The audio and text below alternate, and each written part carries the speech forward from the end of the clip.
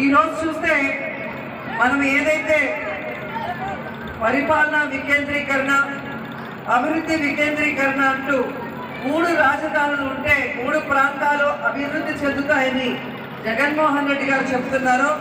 అది ఆ కాలంలోనే గాంధీ గారు పొట్టి శ్రీరాములు గారు చేశారు అనేది మనం అందరం కూడా గుర్తించాలి. గాంధీ గారు అయితే గ్రామ స్వరాజ్యం కోసం తప్పిస్తే భాషా ప్రయుక్త రాష్ట్రం కోసం పొట్టి శ్రీరాములు గారు తప్పించారు ప్రాణం కూడా త్యాగం చేశారు. మనకి తెలుగు వాళ్ళందరికీ ఒక రాష్ట్రాన్ని కూడా ఏర్పాటు చేసి ఇవ్వడం జరిగింది. కానీ దురదృష్టవశాత్తు పంతొమ్మిది వందల యాభై ఆరులో ఆంధ్ర ప్రాంతంతో పాటు తెలంగాణను కలిపి ఒక తెలుగు రాష్ట్రంగా ఏర్పరిస్తే యాభై సంవత్సరాల తరువాత ఒక ప్రాంతీయ విభేదం వచ్చి ఈరోజు తెలంగాణ హైదరాబాద్తో కూడా సెపరేట్ అవటం మనం అందరం కూడా కళ్ళారా చూస్తాం అలాంటి పరిస్థితి మళ్ళీ ఆంధ్రప్రదేశ్లో రాకూడదు. ఈ రాష్ట్రం విడిపోయిన తర్వాత అటు ఉత్తరాంధ్ర ఇటు రాయలసీమ చాలా వెనకబడిపోయి నష్టపోతుంది కాబట్టి మూడు ప్రాంతాల్లో మూడు రాజధానులు ఉండాలి.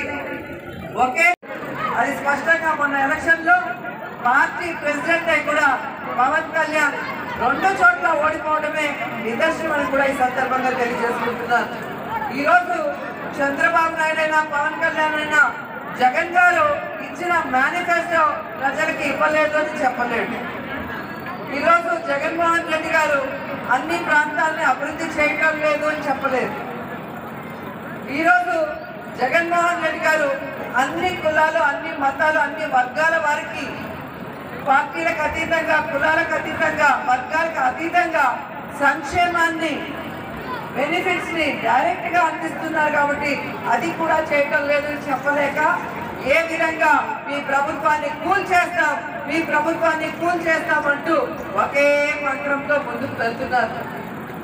ఎమ్మెల్యేగా కూడా గెలవలేని వాడు జగన్మోహన్ రెడ్డి గారి ప్రభుత్వాన్ని కాదు కదా ఆయన కూర్చున్న సీఎం కుర్చీ ఒక మేకు కూడా నువ్వు తీయలేవని కూడా ఈ సందర్భంగా తెలియజేసుకుంటున్నాను అందరూ కూడా పెద్ద పెద్ద నాయకులు మేము గాంధీ గారి కన్నా కళలు గ్రామ స్వరాజ్యాన్ని తీసుకొస్తాం ప్రజల వద్దకే పాలన తీసుకొస్తామని డెబ్బై సంవత్సరాల స్వాతంత్రం వచ్చి ఈ భారతదేశంలో అనేక సందర్భాల్లో అనేక స్టేజీల్లో మీరు మీటింగ్లు వింటారు కానీ గాంధీ గారు పొట్టి శ్రీరాములు గారి ఆశయాల్ని ఆకాంక్షల్ని నెరవేరుస్తున్న ఏకైక నాయకుడు మనసున్న నాయకుడు జగన్మోహన్ రెడ్డి గారు మాత్రమే అని కూడా ఈ సందర్భంగా తెలియజేసుకుంటున్నాను.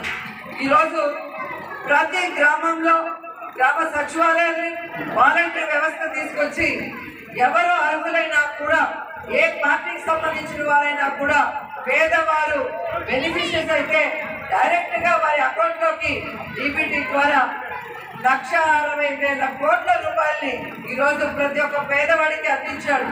దీంట్లో ఎక్కడ అవినీతి లేదు. ఎవరు ఏ నాయకుడి ఇంటి దగ్గరికి వెళ్ళి పడిగాపులు పడాల్సిన అవసరం లేదు. రికమెండేషన్ చేయాల్సిన అవసరం లేకుండా ఈరోజు గౌరవంగా మీ గ్రామంలోనే మీరు అన్ని చేసుకునే పద్ధతిని తీసుకొచ్చారు. సో ఈరోజు నిజమైన గాంధీ వారసుడిగా జగన్మోహన్ రెడ్డి గారు ఆలోచిస్తున్న తీరు అభివృద్ధి సంక్షేమంతో ఈ రాష్ట్రాన్ని అభివృద్ధి చేస్తున్న తీరు కూడా గమనించి ఎవరైతే ఈ రాష్ట్రంలో విషం చెప్పాలన్న ప్రయత్నం చేస్తున్నారో వాళ్ళని తరిమి కొట్టాలని కూడా ఈ సందర్భంగా తెలియజేసుకుంటున్నారు.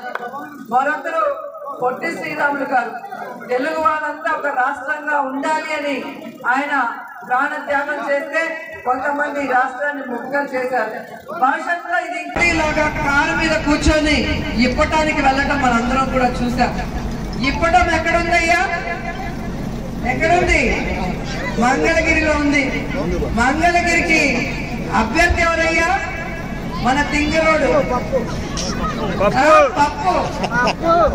పిల్ల మిత్రే గారు.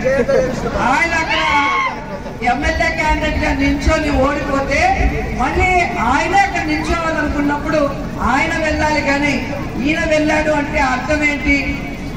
ప్రజల్లో ఇతను చులకనైపోవాలి. ఇతను చేసే హావభావాలు పిచ్చి చేష్టలు రౌడీజం చూసి ప్రజలు అసహించుకునే విధంగా చేస్తూ తన కొడుక్కి చెడ్డ పేరు రాకుండా ఇంట్లో కూర్చోబెట్టుకున్నాడు.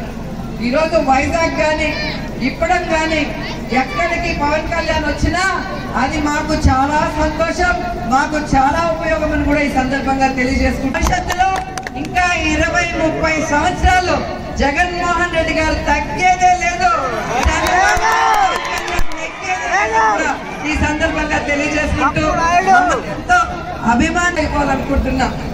గతంలో చిరంజీవి గారు పిఆర్పి పార్టీ పెట్టినప్పుడు ఇదే పచ్చ పత్రికలు పచ్చ ఛానల్ ఆయన అలా ఆకాశంలోకి ఎత్తేసి చివరి నిమిషంలో డబ్బుని కింద ఎలా పడేశారో మనం చూసాం.